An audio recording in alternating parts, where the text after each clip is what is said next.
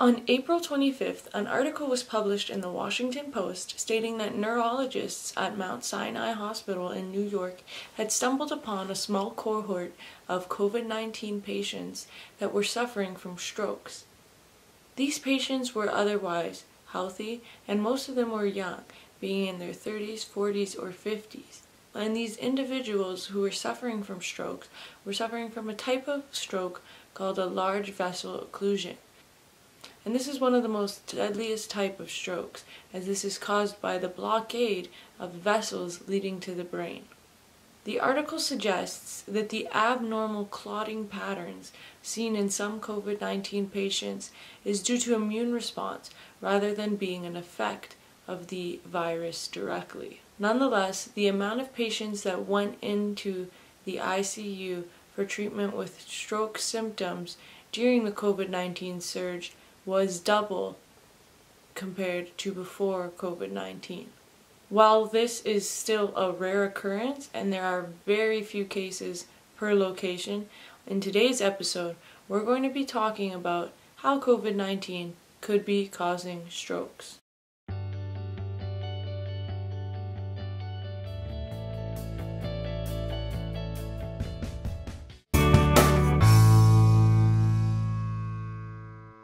The first thing I want to cover today is I want to discuss what exactly a stroke is. There are three types of stroke, hemorrhagic, ischemic, and TIA, or transient ischemic attack, which is also known as mini strokes. A stroke is basically when you have blockage of blood flow to the brain.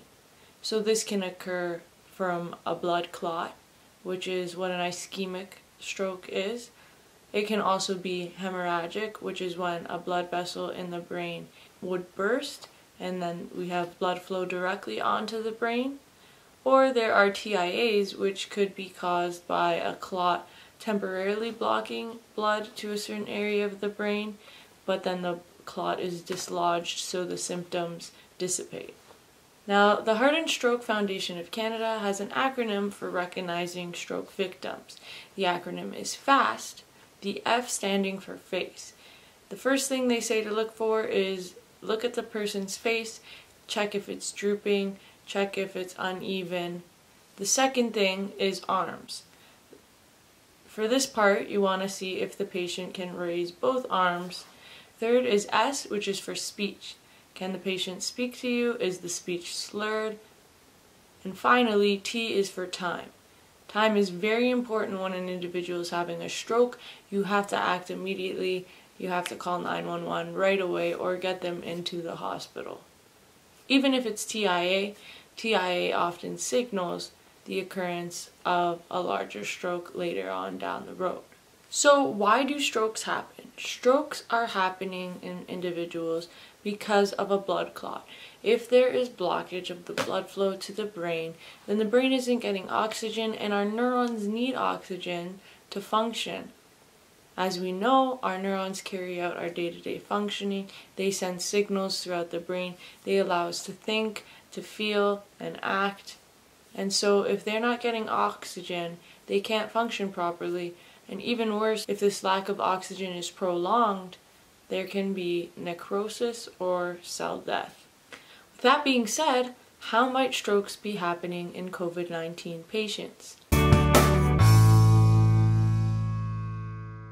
On April 22nd, also in the Washington Post, there was an article published about how Atlanta doctors were observing abnormalities in clotting in COVID-19 patients. In fact, 20 to 30% of patients in this hospital were seen to have blood problems. And it has been observed that there are deviations in blood clotting within COVID-19 patients.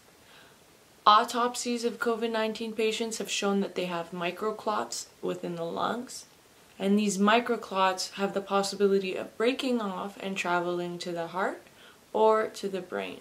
If there is a clot blocking the heart, that would cause a heart attack. And if there is a clot blocking blood flow to the brain, that would cause a stroke. Now, doctors suggest that this is because of hemostatic derangement, which is overreacting of the blood in response to the virus. We've seen problems like this happen in Ebola and other viruses, including influenza. But still, at the end of the day, we are left with the question as to why this is happening. The number one prediction is that something called disseminated intravascular coagulation is happening as a complication of COVID-19. Disseminated intravascular coagulation, or DIC, is the abnormal clotting of blood in people who perhaps are suffering infection or injury. Basically, DIC is when we have an overactive clotting process. It can be caused by inflammation, severe tissue damage, or infection with a virus.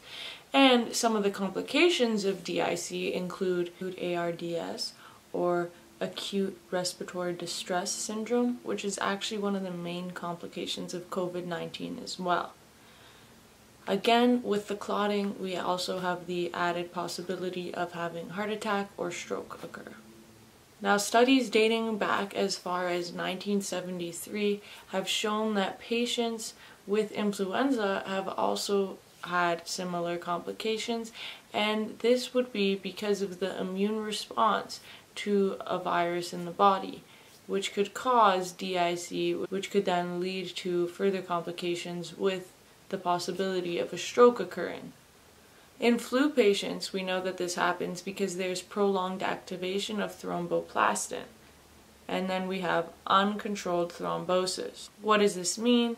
Well, in the body, we have three parts needed for clotting. We need our endothelial cells, we need our platelets, and we need coagulation factors. Usually we have control over this with anticoagulants which stop the clotting. However, when we have a hyperactivated immune response or something called the cytokine storm happening, this can go haywire and we can have abnormal amounts of clotting. Clots can just be forming within the blood rather than at a surface of attack or some place that needs healing in the body. And these clots can then get lodged in blood vessels causing hypoxia in regions which need oxygen. Now, we talked about the cytokine storm in one of our other videos, but basically this is hyperactivation of the immune system, and with that we have activation of our clotting pathways. Now finally, as of April 30th, there's now a paper under review by Professor O'Donnell who comes out of the Royal College of Surgeons in Ireland and he's looking at COVID-19 coagulopathy. What they saw in their study is that there's an increase in D-dimers in COVID-19 patients. D-dimers are these proteins that are left over when clots are being broken down. As soon as a clot forms, the body starts to break it down, and so D-dimers will then enter the blood, and this is a measure of clotting within the blood as well. D-dimers increase in stroke victims, and so this increase in COVID-19 patients also indicates a similar amount of clotting in the blood. With all these patients, regardless of the fact that they had increased D-dimers, the progression to DIC was very rare. However, these patients were treated with LMWH or low molecular weight heparin, which is an anticoagulant to stop the blood from clotting. Whether or not all patients should be treated with anticoagulants is questionable at this point because we don't want to give too many blood thinners and cause further complications with that. However, to be able to prevent clotting that could possibly lead to a heart attack or stroke is also something that needs to be thought about. So we're going to finish off there. What we learned today is that COVID-19 can cause abnormal clotting within individuals. This abnormal clotting is known as DIC or disseminated intravascular coagulation. DIC has also been observed in flu patients in the past. It's caused because the clotting system goes out of whack in victims who are fighting off viruses. Finally, we learned that clots can block blood vessels, particularly if veins going to the brain are blocked. We can have hypoxia in areas of the brain which can cause stroke and depending on which region of the brain is affected, there will be different symptoms displayed. Lastly, we learned the acronym FAST to help recognize stroke victims by looking at their face, arms, speech, and finally acting in a timely manner. Thank you for watching today's video. I hope you enjoyed. I hope you learned something new today and I hope you're staying happy and healthy. Also wanted to let you know that this week we've tried something new. There is a link in the description for a quiz. So if you've been paying attention to this video and you want to test your knowledge, go ahead down below. There's a quick little multiple choice quiz that you can test yourself with. Make sure you give this video a thumbs up. Make sure you leave any comments or questions you have down below. And come back next week for another video on NeuroSciQ. Stay happy and healthy, and we'll see you next week. Thanks for watching.